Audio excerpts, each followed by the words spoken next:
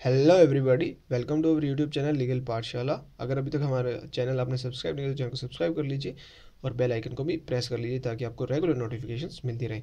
हमारा टेलीग्राम के ऊपर ग्रुप है, उसका लिंक डिस्क्रिप्शन बॉक्स में है, उसको भी आप ज्वाइन कर सकते हैं। वहाँ पर आपको रेगुलर अपडेट्स मिलती रहेंगी। तो चलिए स्टार्ट करते हैं आज की हमारी वीडियो आज हम डिस्कस करेंगे द लिमिटेशन एक्ट 1963 एक क्विक रिवीजन लास्ट मिनट जो रिवीजन होती है आपके एग्ज़ाम से पहले, आज हम वो करने वाले हैं। मैक्सिमम दस पंद्रह मिनट जितनी भी लगी, पूरा का पूरा लिमिटेशन एक्ट हम रिवाइज करेंगे इस वीडियो के अंदर। तो चलिए स्टार्ट करते हैं हमारा लिमिटेशन एक्ट के साथ। लिमिटेशन एक्ट हमारा 1963 का एक्ट है। ये थर्टी सिक्स ऑफ़ 1963 एक्ट है, ठीक है? इस चीज़ का हमें पता होना चाहिए। लिमिटेशन एक्ट कब आया था? जल्दी कमेंट कीजिए। लिमिटेशन एक्ट आया था हमारा फ़र्स्ट जैन 1964 को, ठीक है सेक्शन फ़र्स्ट इसका क्या कहता है? शो टाइटल एक्सटेंड एंड इस एक्ट को हम लिमिटेशन एक्ट कहते हैं। ये पूरे हॉल ऑफ़ इंडिया में एक्सटेंड करता है। जे एंड के वाला हट चुका है।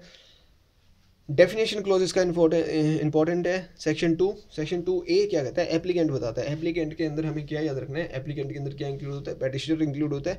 बाकी कोई भी एक ऐसा पर्सन जो एक राइट डिराइव करता है अप्लाई करने का या एग्जीक्यूटिव एडमिनिस्ट्रेटर और अदर रिप्रेजेंटेटिव ठीक है? टू बी टू बी के अंदर एप्लीकेशन ये भी इंपॉर्टेंट है। एप्लीकेशन इंक्लूड्स पेटिशन ये चीज़ याद रखनी है। प्री में आता है question two C bill of exchange includes hundi and H cheque ये क्वेश्चन भी इंपॉर्टेंट है क्योंकि नेगोशियबल इंस्ट्रूमेंट के अंदर कुछ और डेफिनेशन दे रखी है आपकी बिल ऑफ़ एक्सचेंज की बट लिमिटेशन के अंदर हुंडी को और चेक को इंक्लूड किया गया ये याद रखना है आपको। बॉन्ड की डेफिनेशन हम छोड़ सकते हैं, हमें नहीं पढ़नी बॉन्ड की। टू ई e देखिए डिफेंडेंट क्या होता है? डिफेंडेंट के अंदर क्या इंक्लूड होंगे? वही वाली पर्सन कोई भी राइट ड्राइव कर रहा है एग्जीक्यूटिव एडमिनिस्ट्रेटर और अदर रिप्रेजेंटेटिव ठीक है? टू एफ़ ईजमेंट की हमें नहीं पढ़नी है बट एक चीज़ याद रखनी है कि ईजमेंट आपका इंक्लूड नहीं करेगा, वो वाला राइट जो आपका कॉन्ट्रैक्ट की वजह से अराइज हो रहा है। ठीक है? टू जी फॉरन कंट्री छोड़ दीजिए, two H good faith good faith पढ़ लीजिए which is not done with due care and attention ये होता है आपका गुड फेथ ठीक है? और टू आई प्लेंटिफ की डेफिनेशन है, सिर्फ़ ये याद रखना है, टू आई के अंदर प्लेंटिफ की डेफिनेशन है, ठीक है? फिर हमारा आता है पीरियड ऑफ़ लिमिटेशन ये बहुत इंपॉर्टेंट है पीरियड ऑफ़ लिमिटेशन की डेफिनेशन हमें याद करनी है, टू जे के अंदर है पीरियड ऑफ़ लिमिटेशन वो वाला पीरियड होता है, जो इस एक्ट के शेड्यूल ने बताया और प्रिस्क्राइब्ड पीरियड वो होता है जो इस एक्ट के प्रोविजंस के थ्रू हम कंप्यूट करते हैं। ठीक है गाइस टू जे के अंदर काफ़ी इंपॉर्टेंट है। टू के प्रोमिजरी नोट नहीं पढ़ना है।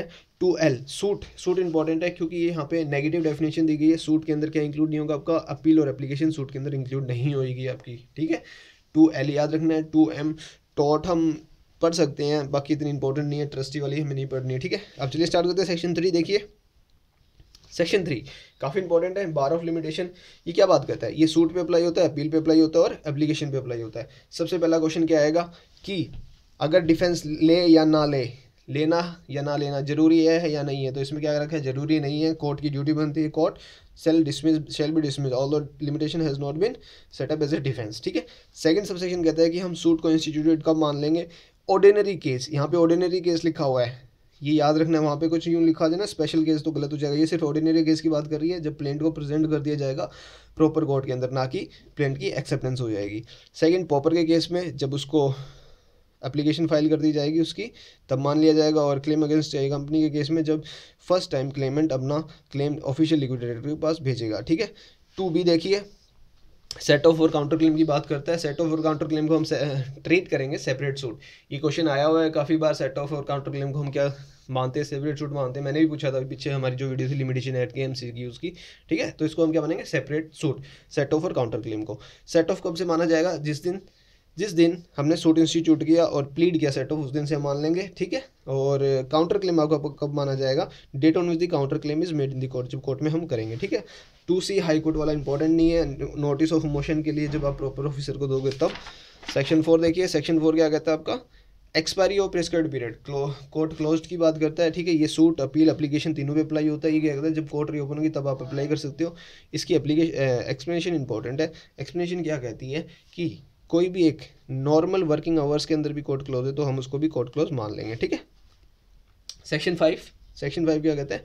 Extension of prescribe period in certain cases कुछ केसेस के अंदर। मतलब ये सब पे अप्लाई नहीं होता, ये सूट पे अप्लाई नहीं होता और ये एक्सेप्शन है सेक्शन थ्री की section three bar of limitation कहती है बट ये कुछ टाइम पीरियड आपको एक्सटेंड कर देता है। जैसे कंडोनेशन ऑफ़ रिले की अप्लीकेशन सेक्शन फाइव में लगती है एनी अपील और एप्लीकेशन पे अप्लाई होता है ये सूट पे नहीं होता और एग्जीक्यूशन एप्लीकेशन के ऊपर अप्लाई नहीं होता।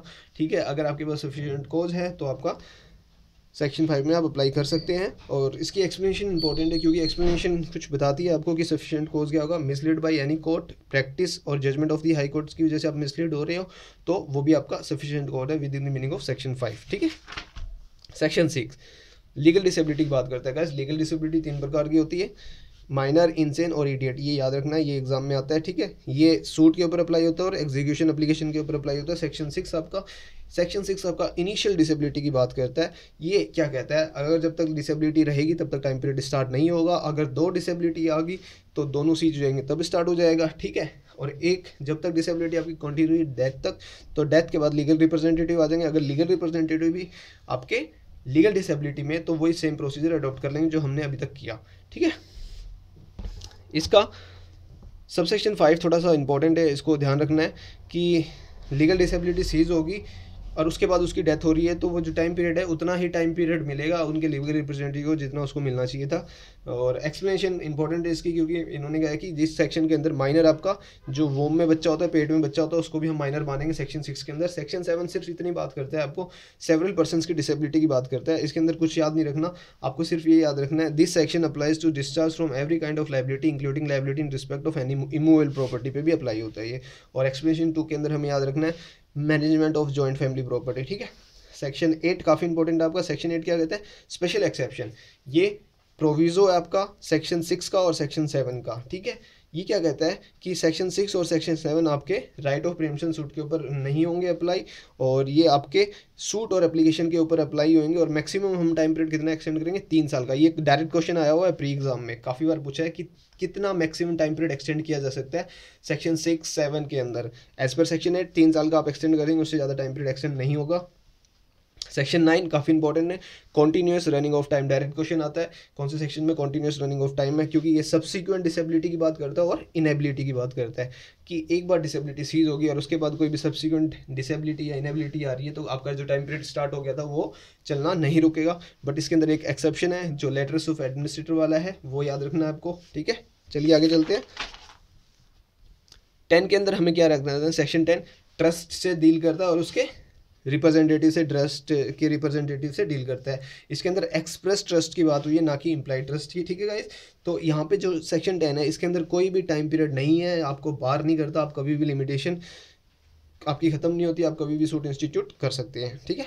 सेक्शन इलेवन हमें याद करना है कॉन्ट्रैक्ट्स के रिगार्डिंग सिर्फ़ इससे कोई क्वेश्चन नहीं आता, सिर्फ़ ये आता कि सेक्शन इलेवन आपका किसी से डील करता है तो contract into suits on contracts ठीक है? अब स्टार्ट हो रहा है हमारा। कंपटीशन वाला। ये काफ़ी इंपॉर्टेंट है। पहले तो हमें याद रखना है कंपटीशन जो है पीरियड ऑफ़ लिमिटेशन की, वो कौन से सेक्शन स्टार्ट हो रही है? सेक्शन ट्वेल्व से सेक्शन ट्वेल्व आपकी लीगल प्रोसीडिंग्स की बात करता है। सब सेक्शन वन इसका कहता है अपील सूट और अप्लीकेशन का हम टाइम पीरियड जब कंप्यूट करेंगे तो जो फ़र्स्ट डे होगा, पहला दिन होगा, उसको हम एक्सक्लूड कर देंगे। सब सेक्शन टू इसकी बात करता है, कोई भी अपील कोई भी application to leave revision review of judgement ठीक है? तो वो वाला दिन, जिस दिन जजमेंट हमारी कंप्लेन जो प्रनाउंस की गई है, वो वाला दिन और जो टाइम रिक्विजिट हमें टाइम लगा है कॉपी ऑप्टेन करने में, उस डिग्री की, उस सेंटेंस की, उस ऑर्डर की जिसकी अब हम अपील करना चाहते हैं, जिसकी हम रिविजन करना चाहते हैं, जिसकी हम रिव्यू करवाना चाहते हैं, वो वाला टाइम पीरियड आपका एक्सक्लूड कर दिया जाएगा। सब सेक्शन थ्री आपका क्या कहता है? अगर आप डिग्री और ऑर्डर की रिवीजन कराना चाहते हैं रिव्यू कराना चाहते हैं तो जहाँ आपने एप्लीकेशन लगाई है अपील के लिए और जो टाइम रिक्विजिट आपको लगा है उस कॉपी को ऑप्टेन करने के लिए, ठीक है? जिसकी भी आप डिग्री ऑर्डर की रिव्यू रिवीजन कराना चाहते हैं और जो आपको कॉपी लेने में जजमेंट की वो टाइम लगा है, वो एक्सक्लूड कर लिया जाएगा। यहाँ पे रिक्विजिट टाइम रिक्विजिट का मतलब एक प्रॉपरली रिक्वायर्ड इस पर क्वेश्चन आया हुआ है, याद रखना। फोर्थ वाला, आपका application to set aside award award को सेट साइड कराने के लिए एप्लीकेशन लगा रहे हैं तो उसके लिए टाइम पीरियड कैसे कंप्यूट किया जाएगा? वो वाला दिन हम एक्सक्लूड कर देंगे जितना टाइम हमें कॉपी ऑप्टेन करने में लगा उस अवार्ड की। एक्सप्लेनेशन इंपॉर्टेंट है।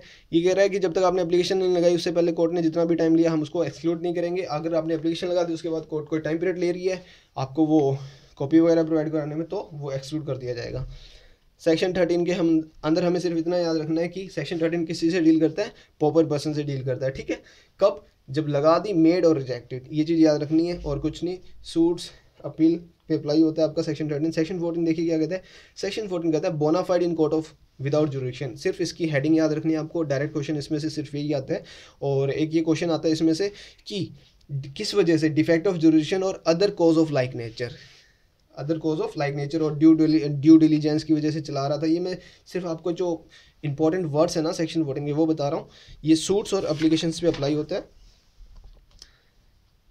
सबसेक्शन टू इसका कहता है? अभी एप्लीकेशन की बात करता है सेम जो सबसेक्शन वन में की थी सूट के बाद, वही है सब। डिफेक्ट ऑफ़ जुडिशन और other cause of other cause of like nature की वजह से हम नहीं कर पाए उसमें। गलती से हमने फ़र्स्ट कोर्ट के अंदर सूट इंस्टीट्यूट कर दिया तो वो आपका टाइम पीरियड एक्सक्लूड कर दिया जाएगा। सबसेक्शन थ्री इंपॉर्टेंट है गाइज़ इसमें क्वेश्चन भी आया हुआ है प्रीवियस ईयर क्वेश्चन पेपर अगर देखोगे आप, कई स्टेट में आया हुआ है। ये आपको याद रखना है कि कौन से ऑर्डर का एक्सेप्शन है ये? Order twenty three of the C and rule two का एक्सेप्शन है, ये प्रोविजो सबसेक्शन थ्री ठीक है?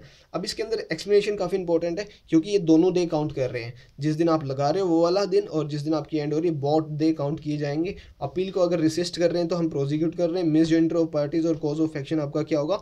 कॉज ऑफ़ लाइक नेचर होगा as per explanation section fifteen देखिए सेक्शन फिफ्टीन कहता है सर्टन अदर केसेस के बारे में बात करता है। ठीक है? अब कह रहा है किसी और केस में कैसे करेंगे? अगर जैसे सूट इंस्टीट्यूट करना है एप्लीकेशन फॉर एग्जीक्यूशन फ़ाइल करनी है तो जब तक उस चीज़ के ऊपर स्टे लगा हुआ है, ठीक है इंजेक्शन के थ्रू या ऑर्डर के थ्रू जब तक वो स्टे कंटिन्यू रहेगी, जब तक वो इंजेक्शन कंटिन्यू रहेगा, तब से लेके जब तक वो विड्रॉ ना कर लीजिए वाला टाइम पीरियड हम एक्सक्लूड कर देंगे। सेकंड क्वेश्चन इसके ऊपर क्वेश्चन आया हुआ है subsection two of section fifteen के ऊपर, कि नोटिस का टाइम पीरियड और जितना भी टाइम पीरियड हमें लगा है प्रीवियस कंसेंट और सेंक्शन लेने का गवर्नमेंट का, यानी अदर अथॉरिटी का, वो आपको एक्सक्लूड कर दिया जाएगा, ठीक है? अब हम दोनों डे काउंट करेंगे, जिस दिन हमने एप्लीकेशन लगाई कंसेंट लेने के लिए और जिस दिन हमें उस कंसेंट कंसेंट मिली, वो दोनों दिन काउंट होंगे इसके अंदर। ये देखिए यहाँ पे काउंटेड शेल बहुत भी काउंटेड ठीक है? सब सेक्शन थ्री आपको सिर्फ़ ये याद रखना है, ये किसकी बात करता है? इन इंसॉल्वेंसी प्रोसीडिंग की और वाइंडिंग अप प्रोसीडिंग्स की। इसके अंदर थ्री मंथ्स थ्री मंथ्स याद रखने की तीन महीने का ज़्यादा टाइम दे दिया जाएगा, बाकी एक्सक्लूड कर दिया जाएगा। ठीक है?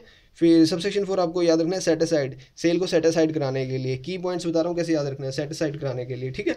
Sub section five outside India है तो वो वाला टाइम पीरियड आपका एक्सक्लूड कर दिया जाएगा। ठीक है सिक्सटीन देखिए। अब सिक्सटीन क्या कहते हैं? डेथ होगी या मतलब उस दिन डेथ हुई, जिस दिन राइट आपका राइज हुआ है, ठीक है?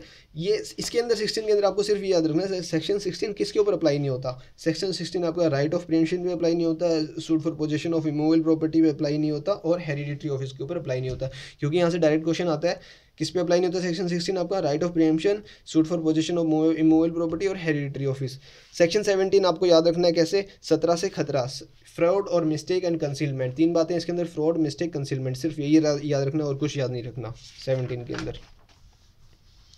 ठीक है? फ्रॉड आपको बताइए कौन करेगा? डिफेंडेंट का फ्रॉड होगा या उसके एजेंट का होगा? हाँ इसके अंदर एक चीज़ याद रखनी ये वाली जो प्रोविजो इसका, कि आपको within one year application लगानी पड़ेगी, जिस दिन आपका फ्रॉड वो जो हट जाएगा, जो भी आपके ऊपर जजमेंट डाइटर ने फ्रॉड कमिट किया था या फोर्स लगा रखा था, जिस दिन वो खत्म हो गया या आपको पता लग गया उसके एक साल के अंदर अंदर आपको एप्लीकेशन लगानी है तो हमें क्या याद रखना है सेक्शन सेवनटीन के अंदर फ्रॉड मिस्टेक कंसिलमेंट की बात हुई और वन ईयर के अंदर अंदर वन ईयर याद रखना, आपको एप्लीकेशन लगानी होगी। सेक्शन एटीन इंपॉर्टेंट है एक्नोलेजमेंट की बात करते हैं राइटिंग के अंदर। Before expiration of the prescribe period ये याद रखना है प्रिस्क्राइब पीरियड खत्म होने से पहले आपको एप्लीकेशन लगानी पड़ेगी सूट अपलीकेशन के लिए प्रॉपर्टी या राइट के लिए, ठीक है? उसके अंदर एक्नोलेजमेंट क्या होगी? Be made in writing signed writing signed by ठीक है? या तो वो खुद राइट खुद लिख के देगा या उसका कोई एजेंट लिख के देगा, ठीक है? उससे क्या होगा? फ्रेश पीरियड लिमिटेशन आपका स्टार्ट हो जाएगा। सेकंड वाला बहुत इंपॉर्टेंट है, इसका subsection two of section eighteen, वो क्या कहता है कि अगर कोई एक्नोलेजमेंट अनडेटेड है तो क्या हम ओरल एविडेंस दे सकते हैं कि ये कहता है हाँ ओरल एविडेंस दे सकते हैं, उससे डायरेक्ट क्वेश्चन आया प्री एग्ज़ाम में बट आप उसके कंटेंट्स के ओरल एविडेंस नहीं दे सकते, ठीक है? एक्सप्लेनेशन के अंदर कहा गया है कि आपकी जो एक्नोलेजमेंट होगी, वो मतलब रिफ्यूज़ल भी हो सकती है सेट ऑफ़ क्लेम कर रहा है, वो भी हम एक्नोलेजमेंट मान सकते हैं, ठीक है? किसी और व्यक्ति को उसने कहा है तो भी एक्नोलेजमेंट मान दी जाएगी, और जो वर्ड साइंड यूज़ हुआ है, कोई सिग्नेचर कौन करेगा? या तो वो खुद कर सकते हैं पर्सनली या उसका कोई एजेंट कर सकता है पर्सनली ठीक है? सेक्शन नाइनटीन ज़्यादा इंपॉर्टेंट नहीं है, सिर्फ़ ये याद रखना है सेक्शन नाइनटीन की हेडिंग याद रखनी है effect of payment on account of debt and interest ठीक है? Before expire of the prescribe period अगर आप पेमेंट कर देते तो एक टाइम पीरियड स्टार्ट हो जाएगा नया। ठीक है? हमें सिर्फ़ यही याद रखना है इसमें। सेक्शन ट्वेंटी के अंदर, ये आप दोनों का इफ़ेक्ट बता रहा है एक्नोलेजमेंट और पेमेंट का, किसी और पर्सन के द्वारा कर दी। तो इसके अंदर हमें सिर्फ़ याद रखना है कि जो पर्सन डिसेबिलिटी में है, उसके अंदर क्या क्या इंक्लूड होगा? Lawful guardian committee manager and duly agent authorise ये याद रखना और कुछ याद नहीं रखना सेक्शन ट्वेंटी के अंदर। सेक्शन ट्वेंटी वन आपका थोड़ा सा इंपॉर्टेंट है, क्योंकि ये थोड़ा सा आपको कंडोनेशन ऑफ़ डिले की इनडायरेक्टली बात करता है, क्योंकि ये कहता है कि अगर इफ़ेक्ट ऑफ़ सब्सटीट्यूटिंग और adding new plaintiff for defendant ठीक है? अगर आप मतलब एक ड्यू गुड फेथ के अंदर कर रहे थे, उसकी वजह से भी नहीं कर पाए तो आपका टाइम पीरियड एक्सटेंड कर दिया जाएगा, ठीक है? जिस दिन आप पार्टी बनाएँगे, उस दिन। और कुछ याद नहीं रखना इसके अंदर guys section twenty two important है। कंटिन्यूइंग ब्रिज एंड टॉट्स इसके अंदर एक चीज़ याद रखनी कंटिन्यूइंग राइट भी होना चाहिए और आपका कंटिन्यूइंग ब्रिज भी होनी चाहिए, ठीक है? Section twenty three suit for compensation for acts not actionable without special damage ये सिर्फ़ उन सूट से ऊपर अप्लाई होता है जिनके अंदर स्पेशल डैमेज होता है। इंजरी रिज़ल्ट होगी तभी आप सूट इंस्टीट्यूट कर सकते हो अदरवाइज़ नहीं कर सकते, जैसे टॉट के अंदर। बेसिकली सेक्शन ट्वेंटी आपकी तरह, आपका सूट बेस्ड ऑन टॉट के ही बात करता है। सेक्शन ट्वेंटी फोर के अंदर हमें सिर्फ़ ये याद रखना है ग्रिगोरियन कैलेंडर से हम जितने भी इंस्ट्रूमेंट होते हैं, उसका टाइम पीरियड हम वो देखते हैं या उनको कंप्यूट करते हैं। कौन सा calendar Gregorian calendar section twenty five important है क्योंकि ये ईजमेंट बाई प्रिस्क्रिप्शन की बात करता है। अगर आप पीसेबली इंजॉय कर रहे हैं ओपनली इंजॉय कर रहे हैं विदाउट इंटरप्शन बीस साल के लिए इंजॉय कर रहे हैं, ठीक है? तो वो आपका ईजमेंट एब्सोल्यूट और इंडिफिजिबल राइट हो जाता है। बट इसके अंदर क्या है आपको? विद इन टू ईयर्स जब आपके ट्वेंटी ईयर्स कंप्लीट हो गए, उसके दो साल के अंदर अंदर आपका सूट इंस्टीट्यूट करना पड़ेगा उस क्लेम को कंटेस्ट करने के लिए, जो इजमेंट क्लेम था, उसको कंटेस्ट करने के लिए, ठीक है?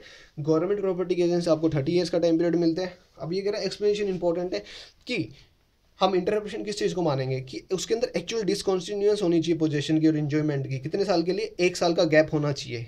अगर एक साल का गैप आएगा, तभी हम उसको एक्चुअल डिसकॉन्टीन्यूस मानेंगे और इंटरप्शन मानेंगे। ठीक है? सेक्शन ट्वेंटी सिक्स क्या कहता है हमारा? सेक्शन ट्वेंटी सिक्स कहता है exclusion in favour of reversioner of servient tenement tenement section twenty six हमें याद रखना है कि किसके? बेनिफिट के लिए किसकी राइट को प्रोटेक्ट है? रिवर्सनर की राइट को प्रोटेक्ट करता है। अगर आपने आपकी प्रॉपर्टी इंटरेस्ट फॉर लाइफ दी है या टर्म थ्री ईयर से ज़्यादा तीन साल से ज़्यादा दी है तीन साल से ज़्यादा आपको याद रखना है ठीक है? दी है आ, उस दौरान कोई उस उस प्रॉपर्टी के ऊपर बंदा इजमेंट इन्जॉय कर रहा है तो वो वाला टाइम पीरियड आपका एक्सक्लूड कर दिया जाएगा। बट इसके अंदर कंडीशन क्या है? जो इंटरेस्ट के लिए आपने प्रॉपर्टी दी है फॉर लाइफ इंटरेस्ट के लिए, वो रिवर्ट बैक आपके पास होके आएगी तो अब आपको तीन साल के अंदर अंदर केस करना है, क्योंकि यहाँ पे थ्री ईयर्स लिखा और पर्सन इंटाइटल मतलब रिवर्सनर तीन साल के अंदर आपको केस करना है, ना कि उस बंदे को जो इजमेंट क्लेम कर रहा है उसके ऊपर। ठीक है? Section twenty seven most important section of the limitation act nineteen sixty three because ये एक्सेप्शन है, एक जनरल रूल था हमारा, कि भैया लिमिटेशन एक्ट आपकी रेमेडी ख़त्म करता है राइट को बार नहीं करता। बट सेक्शन ट्वेंटी सेवन क्या कहता है कि मैं तो रेमेडी भी ख़त्म कर रहा हूँ और राइट को भी बार कर रहा हूँ। तो आपको क्या याद रखना है? रेमेडी और राइट सिर्फ़ एक सेक्शन है जो सेक्शन 27 के अंदर है और सेक्शन 27 को हम एडवर्स पोजिशन के नाम से भी जानते हैं। Existing extinguishment of right to property ठीक है? अगर suit of suit for possession of any property है, आपने फ़ाइल नहीं किया टाइम पीरियड के अंदर तो आपका राइट भी जाएगा और आपकी रेमेडी भी जाएगी। ये था सेक्शन 27 सेक्शन 28 हमारा नहीं है। सेक्शन 29 सेविंग इंपॉर्टेंट है, क्योंकि इसके अंदर ये बताया गया कि ये एक्ट किसके अप्लाई नहीं होता। Section 25 of Indian contract act के ऊपर अप्लाई नहीं होता। कोई स्पेशल या लोकल लॉ है जिसने मना कर रखा है, वहाँ पर अप्लाई नहीं होता। मैरिज और डाइवोर्स से रिलेटेड कोई भी लॉ है, उस पर अप्लाई नहीं होगा। और सेक्शन ट्वेंटी और ट्वेंटी के अंदर जो ईजमेंट का मीनिंग है, वो वहाँ पर अप्लाई नहीं होगा, जहाँ इंडियन ईजमेंट एक्ट अप्लाई हो रहा है। Section thirty DGS Delhi judiciary वालों के लिए इंपॉर्टेंट है। इसके अंदर इन्होंने कहा कि सात साल के अंदर आप सूट इंस्टीट्यूट कर देंगे। अगर सात साल सूट इंस्टीट्यूट कर देंगे अगर वो टाइम पीरियड एक्सपायर हो गया तो आप नहीं करेंगे आपका बार हो जाएगा और अपील और एप्लीकेशन के केस में नाइन्टी डेज़ से टाइम पीरियड याद रखना आपको और कुछ नहीं। थर्टी वन के अंदर प्रोविज़न एज टू बार्ड और पेंडिंग सूट्स जो मतलब ऑलरेडी सूट पेंडिंग थे इस, इस इस एक्ट के आने से पहले। तो वो अगर टाइम पीरियड बचा हुआ तो आप उसके अंदर कर दीजिए, अगर टाइम पीरियड नहीं बचा हुआ तो आपके खत्म हो जाएँगे। ठीक है गाइस ये था हमारा लिमिटेशन एक्ट की क्विक रिवीजन आपको अच्छी लगी हो तो लाइक करना वीडियो को शेयर करना और कमेंट करना। अगर किसी और सब्जेक्ट की आपको क्विक रिविजन चाहिए तो जल्दी, ठीक है? और जाते जाते एक और डोज कि जो हमारा लिमिटेशन एक्ट है वो कैसा लो है? Lex fori law of the land. और ये चीज़ याद रखनी है कि लिमिटेशन एक्ट आपका प्रोहिबिट करता है रेमेडी को राइट को नहीं करता बट इसकी एक एक्सेप्शन है सेक्शन 27 जो राइट और रेमेडी दोनों को खत्म कर देता है। ठीक है गाइस मिलते हैं नेक्स्ट वीडियो में। Okay bye bye tata see you take care